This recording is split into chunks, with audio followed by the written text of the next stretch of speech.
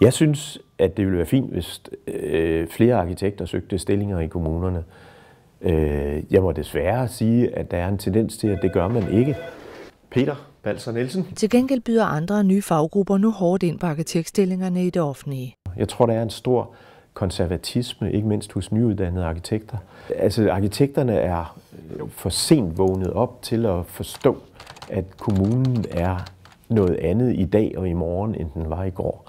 Der er altså langt mere grad af facilitering af en byudviklingsproces, en byudviklingsstrategi.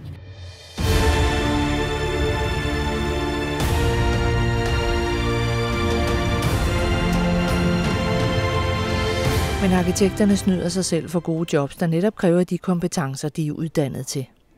Det er jo kommunerne, der sidder med alle kortene på håndene til at få en ordentlig by ud af de udviklingstendenser, vi ser i øjeblikket. Det er efter min mening så lige det, du sendte sindssygt spændende at være øh, i det der felt mellem politikerne, borgerne, developerne og den der faglighed, som arkitekterne kan, hvad enten de er her i kommunen, øh, i vores øh, afdeling, eller de er i et rådgivende firma.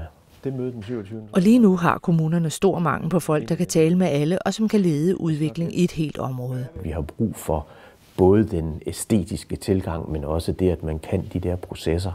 Det er lidt af en blæksprutte, og det er lidt af en, af en mangesidig kundskab, man skal have. Ja, det har jeg ikke gjort endnu. Men det er altså også enormt gavnligt for en kommunal tilgang til det her, at man kan vise de fælles billeder af, hvordan er det, det her kommer til at se ud.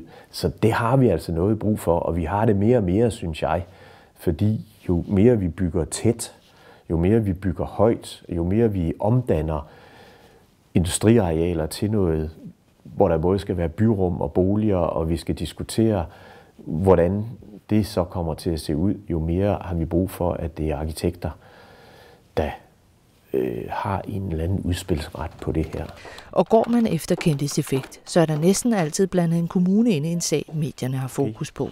Tak skal du have. Bare tag de seneste diskussioner her i Aalborg, i Aarhus, København om høje huse.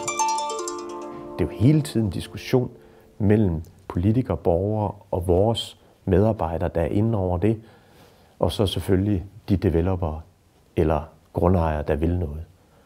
Det er altså sindssygt spændende, og det er meget dynamisk.